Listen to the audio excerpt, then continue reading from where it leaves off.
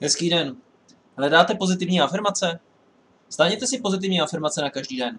Podpoří váš osobní růst, prosvítí váš den, posílí vaše sebevědomí a pomohou vám dosáhnout vašich snů a cílů lehčeji. Kvalita vyžaduje čas. Proto jsem si dal na čas a pečlivě vybíral. Jednu afirmaci po druhé. A výsledek? Představujeme vám opravdu kouzelné magické afirmace, které obsahují ty nejlepší pozitivní afirmace na každý den. Pozitivní afirmace sebevědomí, afirmace na sebelásku, na peníze, hojnost a prosperitu, proti stresu a proti strachu.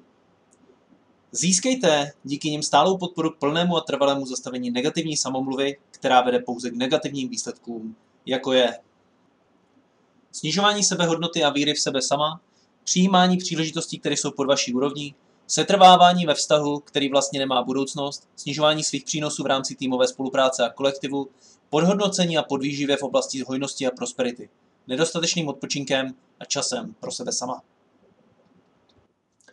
Asi už jste si taky povšimli podivného hlasu ve své hlavě.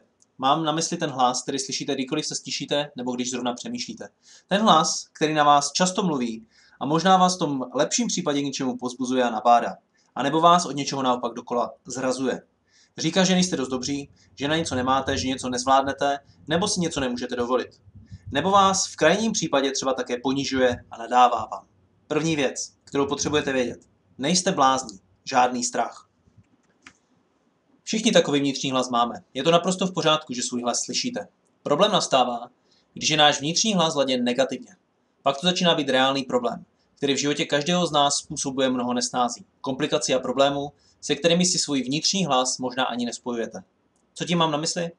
Nejen, že díky svému negativně laděnému vnitřnímu hlasu zažíváte negativní pocity v průběhu dne, protože téměř každá naše myšlenka či představa v nás vyvolává nějakou konkrétní emoci a doslova fyzickou odezvu našeho těla. A emoce jako taková podle toho, s čím máme myšlenku spojenou. Příklad. Zkuste nyní pomyslet na svého milovaného partnera, nebo na své dítě, nebo na své oblíbené místo, či na to, čeho se bojíte.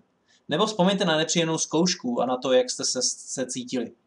Jestliže je tedy váš vnitřní hlas laděn zejména negativně, budou stejně tak i vaše pocity negativní. Zároveň vám tak negativně laděný hlas snižuje mož- životní možnosti a rozšiřuje omezení. Protože opravdu nikdo není dost silný na to, aby dlouhodobě ustal proud negativního marastu, který neustále přináší informace o tom, že něco nejde udělat či dosáhnout, že něco nemůže, protože není dost dobrý, že si něco či někoho nezaslouží, že na to prostě nemá.